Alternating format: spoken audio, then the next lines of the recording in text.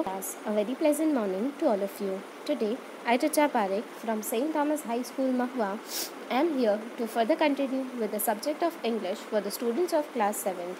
My dear students, during the previous lecture, uh, we completed activity number 6 of unit number 5 that is health and nutrition. So today we are going to start with activity number 7. Let's see the activity. Form groups and read the following quotations. Discuss the main ideas of the quotation with the group and one of you present the idea with your class. So here various quotations are given. We need to understand the quotation and then we need to, in groups we need to discuss the ideas and express it in front of the class so let's see, let's see the first one man is what he eats second one is to eat is a necessity but to eat intelligently is an art the third one is early to bed and early to rise makes a man healthy wealthy and wise the fourth one is when the health is when the wealth is lost nothing is lost. When the health is lost, something is lost. But when the character is lost, everything is lost. And the fifth question is make a slogan on health with your partner and on a chart paper.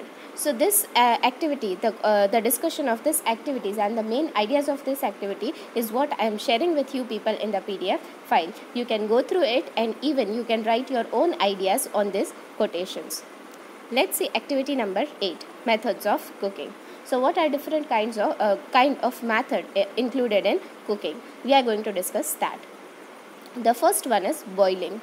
To heat liquids until bubbles form on the surface and then to keep it on uh, keep it at the temperature during the cooking process. Example boiling potatoes eggs etc so what is boiling? When some kind of liquid is uh, kept uh, in a utensil and the, until and unless the bubbles are formed on the surface of that liquid and that temperature is kept in order to cook uh, cook something. For example boiling the potatoes and eggs frying and deep frying. Deep frying is a cooking method where the food is cooked at uh, in the hot oil at the temperature between 325 degree fahrenheit and 4, uh, 400 degree fahrenheit. Example frying puris and samosas. Roasting. Roasting is a method that uses dry heat or an uh, or on open fire or an uh, or or on or an oven.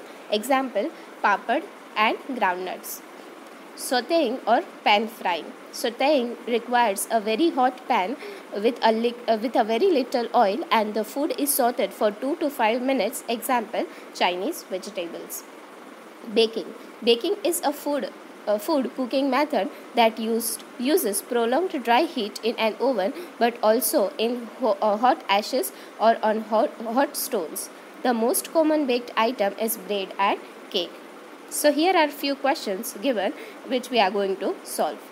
Which method of cooking does your mother use to prepare to prepare food? For example, we can say each and every method which we discussed here is used by our mother in the kitchen. So the answer to this is my mother uses the following methods of cooking. The first one is boiling, frying or deep frying, roasting, sauteing or pan frying and baking. Which method should she use more and why? Uh, and why? Here uh, we can say that frying and sauteing is kind of uh, it includes some kind of fatty substance. Uh, so hence we can use the methods such as boiling, roasting and baking methods. Can you suggest her another method of cooking uh, cutlets without deep frying so that the cutlets can be more balanced? So yes, she can boil the potatoes and beans first and then uh, give the uh, shape then mix it well and then give the shape. So once they are done with it, we can bake or roast them instead of deep frying. So uh, it will become equally, spi- uh, equally crispy uh, like that of which we are uh, frying. The fourth one is what food item can your mother substitute for puris and parathas to make your meal more balanced? So instead of puri and parathas, we can have roti and chapati. We can also have bhakri or rotla. So dear students, here we are at the end of today's video. I am sharing a PDF file in which the answers of activity number 7 and activity number 8 is given. You can write the same in your fair book. In the very next class, we will be continuing with the further part of the chapter. Thank you and have a nice day.